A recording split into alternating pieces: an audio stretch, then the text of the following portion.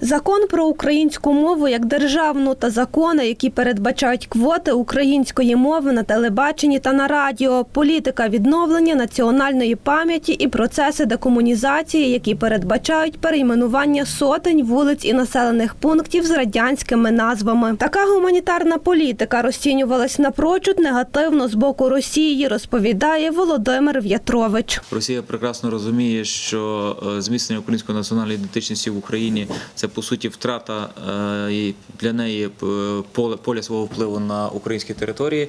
Ну врешті ми повинні розуміти, що ця війна, яка зараз відбувається, це війна не тільки і не тільки за територію, як війна за е, українців, як таких, якими вони будуть. Тобто Росія бачить їх будівничими руського міра. Для Росії важливо, щоб українці стали росіянами або як мінімум малоросами, і в жодному випадку, щоб вони не залишилися українцями. Нещодавно в Україні розпочалась хвиля повторних перейменувань, а почалось все з електронної петиції на сайті Харківської міської ради з вимогою повернути проспекту і станції метро ім'я маршала Жукова. Вже 19 червня проспекту все ж повернули стару назву. Згодом, 25 червня, окружний адміністративний суд Києва скасував рішення Київської міськради про перейменування двох проспектів у Києві на честь Бандери та Шухевича. Це власне е, приклади такої системного системного е, наступу з усіх боків на е, питання пов'язані з національною ідентичністю. І Це приклад того, як що Росія може діяти через різні політичні е, сили в Україні, через різні інструменти, там судові і так далі.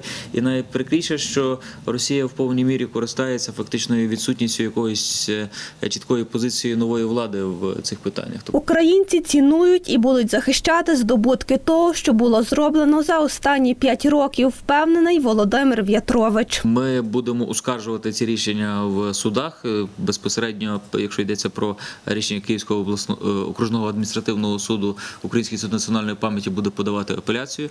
Я переконаний, що ми будемо зобов'язані е, про українські сили захищати зроблене е, за 5 років в парламенті. І очевидно, що при потребі ми маємо бути готові до того, щоб захищати громадянськими якимись акціями на вулицях те, що нами було здобуто за останніх 5 років. Тобто Крім того, такі перейменування порушують закон про декомунізацію, який діє з 2015 року і забороняє радянську символіку та засуджує комуністичний режим. Юлія Торконяк, Денис Довган, телерадіокомпанія Раї.